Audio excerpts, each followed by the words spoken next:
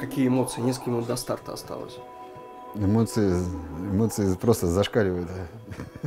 Ну, больше трясет всего.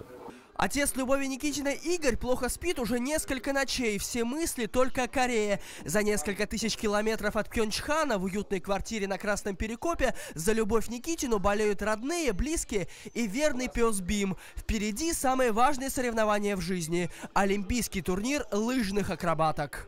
Ну все, обеспечивают. 25 спортсменок, среди которых Никитина, отбираются в финальный этап. За медали поборются 12 из них. На это у лыжных акробаток две попытки. Никитина стартует шестой. Стой! Есть! Люба! Переживали его дворце молодежи. Здесь организовали специальный показ. Пришла поболеть за нашу землячку Никитину. Очень классно, что именно она, наша Ярославна, пробилась. Очень непросто. Я знаю, что им выступается, тяжело. И мы как можем поддерживаем. Вообще супер, молодец. Молодец, постаралась, умничка, собралась. Следом экспресс-разбор прыжка. Вот чуть-чуть ноги, вот ноги чуть-чуть вот так вот согнула, в уголок небольшой взяла, а оставила бы вот так вот, прямой, шла бы полностью прямой.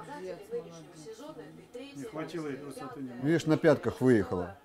После первой попытки Любовь Никитина на восьмой строчке. Можно чуть-чуть перевести дух. Чуть-чуть отлегло, но еще второй прыжок. Да, очень сложно было. Нас еще тут задергали телевидение одно, другое, третье. И тут нервы просто уже чересчур как бы. Первые шесть спортсменок сразу отправились в следующий этап. Никитина и еще 18 акробаток определяют вторую шестерку счастливчиков. Прыжок номер два сложнее.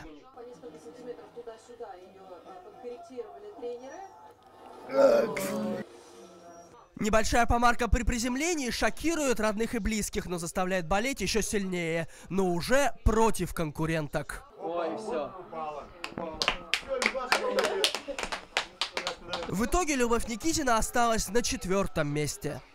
Люба Никитина, четвертая. Четвертая, четвертая, молодец, молодец просто. Все, супер. Давай, Игорюх, молодец. И тут же связь с Кореей. Домой звонит старший брат Любы, Стас Никитин. Смотрел? Да, смотрели, все нормально, да. Связь плохая, Стас. Впереди у Никитиных еще несколько сложных дней. Любовь поборется за медали уже завтра. А соревнования по мужской акробатике стартуют в субботу. Дмитрий Жданюк, Георгий Иванов. День в событиях.